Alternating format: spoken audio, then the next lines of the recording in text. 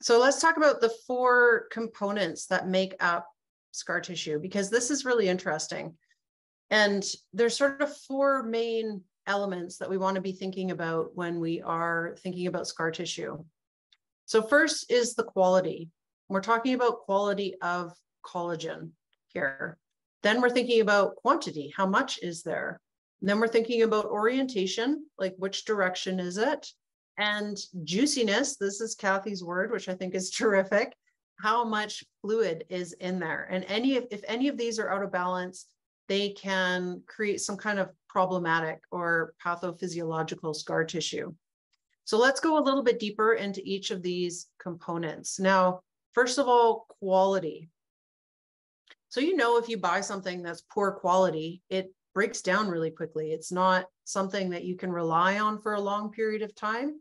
It's the same with collagen. So if you're not getting healthy collagen, then the quality of it is poor. How it is formed is not as effective, and it may be more prone to degeneration. And if it starts to degenerate, then it can lead to problematic scar tissue. So we want healthy collagen. We want it to be nice and smooth. We want it to have some kind of elasticity to it. It's not super stretchy, but it, you don't want it to be rigid and brittle either. So, Cathy, what was your um, your metaphor with the rope on that? Well, with with collagen, you know, there are certain features that are that are required for that collagen strand of collagen or bundles of collagen, you know, to be able to do the job that they're supposed to do. And and some of the important things with collagen is that, you know, it's not stretchy like an elastic band like muscle is, but it does have some degree of pliability to it. And and a couple of the features that allow for it to have that kind of capacity for some degree of pliability are is crimp so there's it's kind of like back in the day when I was a kid, before we had iPads and stuff like that, we'd take construction paper and we'd cut and we'd make these long strips of piece of paper and we'd fold them so it'd make like an accordion.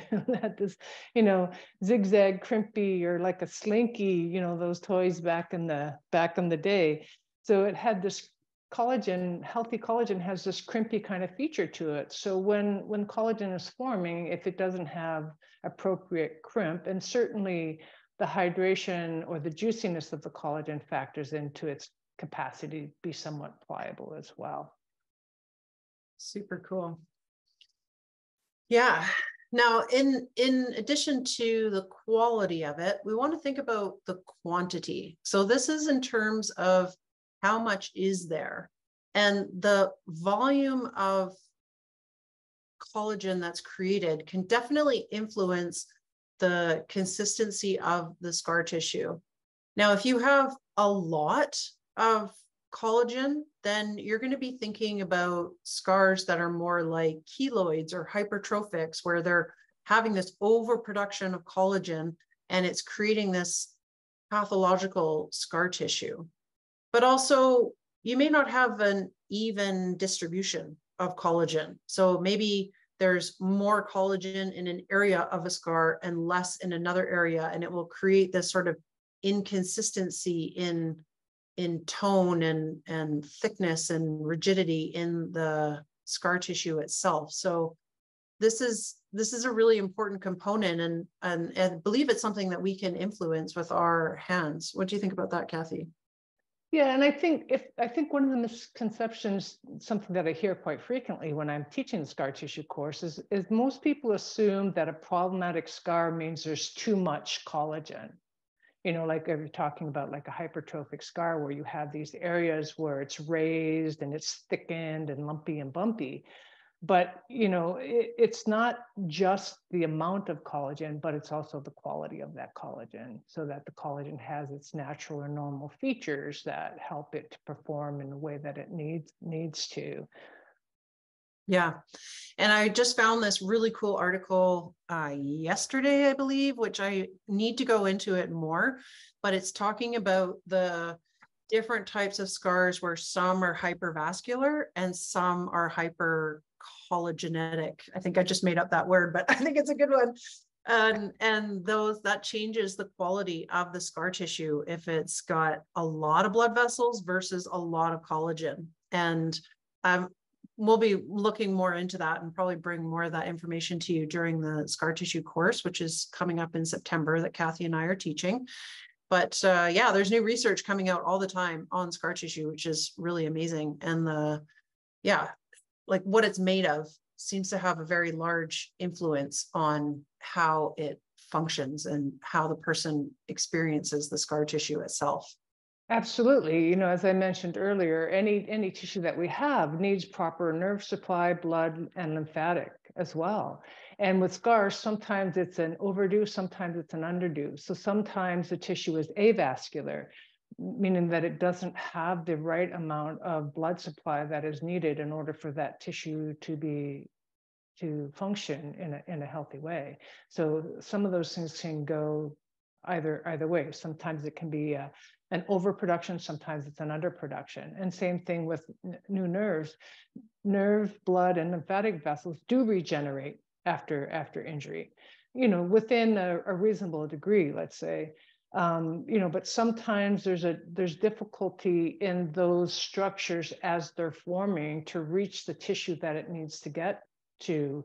Um, I don't know if any of you guys are familiar with Dr. Geoffrey Bove. He did some scar tissue research with Susan Chapelle, also BCRMT, a, a while back, and I had the pleasure of meeting uh, Geoff at the fascia congresses a while back, and I ran into him few years later and said, "Hey, you know what's new? What's going on in your lab?" And he said, "Well, one of the really interesting things that I'm seeing is that newly forming nerves have a really hard time pushing through dense, gnarly tissue." And I'm like, "Oh my God, that's so amazing from my perspective as someone who works with scar tissue. So if we're getting, you know, we talk about this classic overproduction of collagen and it's fibrotic, it's gnarly, and it's kind of dense and compact, you know, that potentially could impact that area of scar tissue, you know, getting new blood vessels, new lymphatic vessels, new nerve supply uh, coming into the area because it's tougher for those newly forming structures to push through denser material. Yeah, which makes total sense to me. I think that that's a really good inference on your behalf. Dr. Yeah. Geoff, Geoffrey Bove, and it's with a G, not a J. Jove, like G O V E? Bo- Bove. Oh, but Bove. his first, first name is Geoffrey with a G, not a J. ah, J. gotcha, gotcha. Just, just for those of you who are, someone okay. asked Dr. Geoffrey, who? So let's now talk about orientation because orientation is really important. So this is what direction it's laid down. Yes, in terms of is it parallel? Is it cross-linked? Is it higgledy-piggledy like spaghetti on a plate? But also you want to think about how close together or how spread apart it is. Are the fibers really dense and clustered like they would be in uh, tendon, or are they more spread apart with more space between them, like they would be in the superficial fascia? And also, also thinking about the 3D torque and glide because it's not one dimensional; it's three dimensional. So it has to be able to work in three dimensions. It has to be able to move and hopefully promote that functional movement in the body without it actually causing restriction or inhibition. Yeah, so for the most part, some of our denser types of fascia, um, like tendon, for example, the collagen bundles for the most part are fairly linear because of the task that's being required for them to do. Whereas the deep fascia, which creates kind of a container around a musculature or envelopes around a musculature, um, you know, the, the collagen is structure is oriented differently to allow for three-dimensional expansion, um, you know, as we move and do things. That's so cool. I just think it's so fascinating. It's like all the different things that the body can do. So you know, it's not only the collagen fibers and their quality, how many of them, how they're arranged, but it's also the fluidity of the area. And this is what Cathy was mentioning with the juiciness. So we want to think about the ground substance that it's in, that, you know, how viscous it is, how fluid it is, or if there's not very much, how dry and adhered is the area. What do you have to say about that, juiciness there. Yeah, I mean, juiciness is a is a really important component with respect to just the tissue health and well-being and viability, but also factors into the capacity for sliding or gliding with reference to its neighbor, um, as well as you know, it's it's a a vehicle for for nutrients, you know, to come in and bathe around the tissues as well.